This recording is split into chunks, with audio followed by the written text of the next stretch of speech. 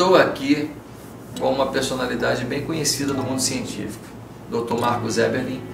Ele é professor na nossa Universidade Mackenzie, em São Paulo, e um dos defensores do design inteligente. Hoje esteve aqui na nossa igreja e foi uma benção. Doutor, no mundo acadêmico está crescendo esse movimento do design inteligente e o que é o design inteligente? Ó, crescendo muito, pastor.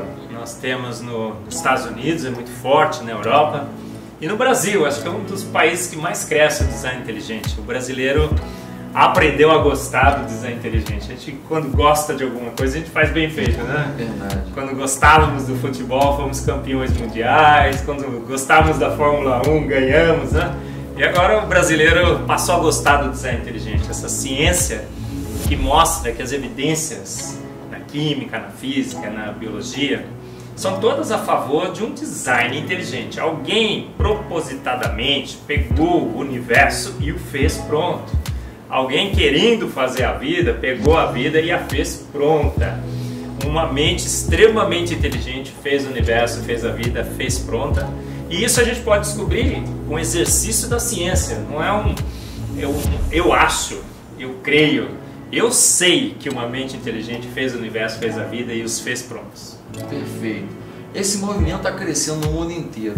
Agora, alguns grupos não querem considerar o design inteligente como ciência. Qual é o argumento deles para dizer isso? Tem algum embasamento? É, pastor, teve uma grande discussão né, com o Benedito na CAPES agora, e eles falaram assim, olha, como que pode um cientista aceitar o design inteligente? E começaram a falar, olha, design inteligente não é ciência, é pseudociência, é religião e tudo mais. E o principal argumento que usaram foi esse, olha, um designer, é um ser é, além da matéria, é, ele não pode ser investigado pela ciência. E a gente não pode levantar hipóteses sobre ele, portanto não é ciência. Absurdo isso, né, pastor? Então nós vamos poder falar assim: olha, o arqueólogo não vai poder achar mais aquela peça e vai falar assim: nossa, eu estou fazendo arqueologia. Porque ele vai, ele vai ver que a peça foi feita por uma mente inteligente, mas você não vai saber quem foi. Mesma coisa na pesquisa de é, ETs, né, com aquele programa 7. Se a gente um dia achar um, um, sinal inteligente emitido por um ET, um cientista então vai chegar para aquela pessoa e falar assim: Mas quem emitiu esse sinal? Aí ele vai falar: Não sei. Nossa, então não é, não é ciência, você não detectou o ET? É, nós trabalhamos com os efeitos, a gente tem um efeito na nossa mão, o universo e a vida. E através dos efeitos nós descobrimos que foi uma mente inteligente. Agora, quem é essa mente inteligente, a ciência não sabe. A gente tem que é, jogar essa questão para a filosofia, para a teologia. Então nós descobrimos como cientistas que foi uma mente inteligente. Agora quem, tá, quem que tem que dar a resposta, quem seria essa mente inteligente, é o senhor, pastor. Perfeito. Boa tarefa. Agora, é isso aí. Deixa eu perguntar uma coisa. Teoria da evolução é um experimento científico que comprova ela? é apenas uma teoria? O que podemos falar da teoria da evolução? Pastor, a teoria da evolução diz o seguinte: mutações selecionadas pela seleção natural ao longo de milhões e milhões de anos criaram a vida nesse universo. Então, é uma teoria que tem uma, uma argumentação científica válida, lógica. O problema é o seguinte: nós fomos avaliar as mutações Fizemos experimento em laboratório, tem experimento de mais de 40 anos com bactérias que corresponderiam a humanos há bilhões de anos.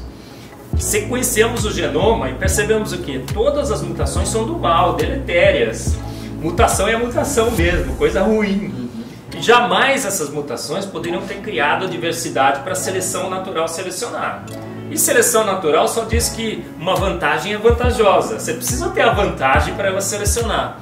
Se não há mecanismos para criar essa vantagem, cai a seleção natural, cai as mutações. E os processos que um dia imaginaram que poderia ter criado a vida, hoje nós descobrimos que não.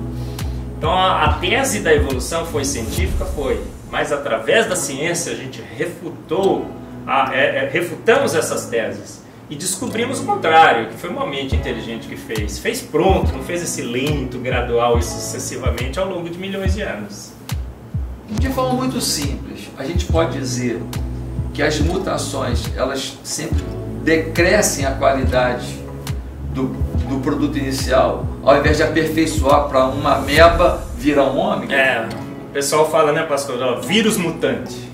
Olha, olha, o vírus da AIDS, o vírus de, da gripe e tudo mais, eles se alteraram e agora mutantes evoluíram. Então a gente fala assim, olha, evolution in action, a evolução em ação, esses vírus estão evoluindo. Mas a gente foi olhar os mutantes, o que, que acontece? Mutante é sempre pior que o selvagem. Ele conseguiu sobreviver porque através de é, defeitos ele conseguiu uma vantagem. Eu sempre brinco assim, olha, se tiver um, um bicho comendo seu braço, você cortar o braço, você escapa do bicho.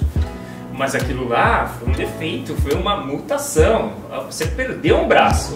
Mais tarde esse braço vai fazer falta. Uhum. Então, quando os vírus se adaptam às drogas, na realidade ele está nocauteando caminhos genéticos, ele está tentando escapar. E ele está gastando material genético. Se você tira a droga, o mutante, na presença do selvagem, quem é que predomina?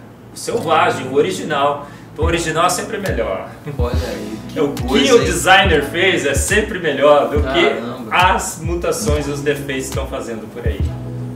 As pessoas falam que é, a questão do siso tem algum, algum embasamento essa questão do dente siso para comprovação de que alguém evoluiu? Pastor, falaram do siso, do cóccix, da, do apêndice, das amígdalas, não falaram? Tinha uma lista, pastor, com mais de 200 Verdade. órgãos inúteis. Hoje esses órgãos caíram todos. A gente descobriu função para todos. A amígdala é uma barreira de proteção de invasão de bactérias. O apêndice é quando você tem uma diarreia, né, pessoa, que elimina os problemas, a lava-jato, né? É lava-jato. Você repõe a sua biota, aquela flora intestinal. Ah, o cóccix é um osso extremamente importante, sustentação de músculos.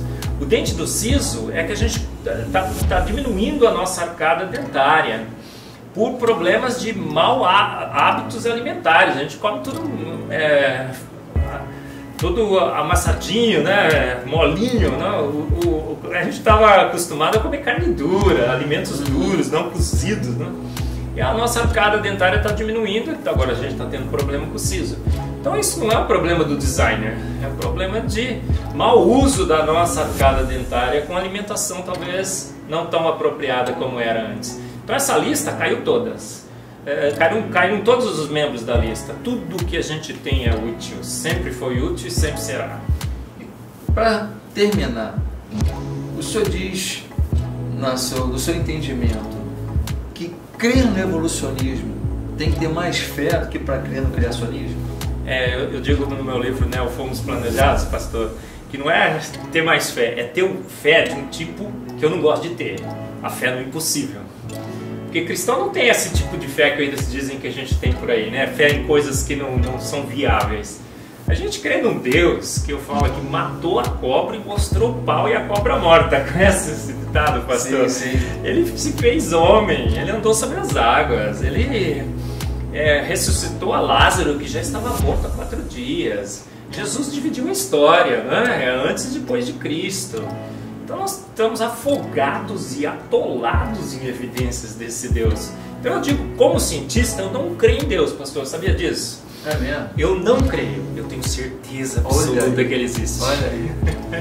Bem, Marcos Evelyn, você pode pesquisar, olhar aí o Instagram dele, saber mais, comprar os livros. Doutor, Fala aí os livros que, os, que o senhor indica para o pessoal aí. Ó, fomos planejados a maior descoberta científica de todos os tempos pela editora Mackenzie. Eu lancei agora o Antievidência.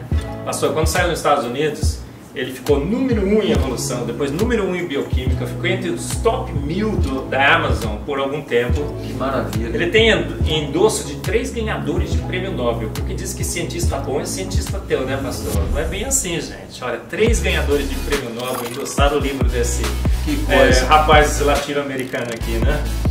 Então, olha, o Antevidência, Foresight, o Caixa Preta de Darwin, na editora Mackenzie, você vai encontrar e toda uma gama de livros que a gente está traduzindo. Tem vários livros em inglês, o Discovery Institute. Tem uma literatura é, farta para você se munir de é, firme fundamento para a sua fé. Não é? Amém. Bem, em breve vem surpresa aí. Fizemos um acordo aqui hoje que nós vamos né, orar sobre isso. né? Surpresa, não vou falar ainda não, para você. Para poder revolucionar o pensamento do Brasil em relação a esse Deus criador, esse design inteligente. Que Deus te abençoe, doutor. Que prazer conhecê-lo. Obrigado pelo seu carinho de vir prestar esse serviço tão lindo para a gente e pela sua simpatia. Valeu, pastor. Obrigado.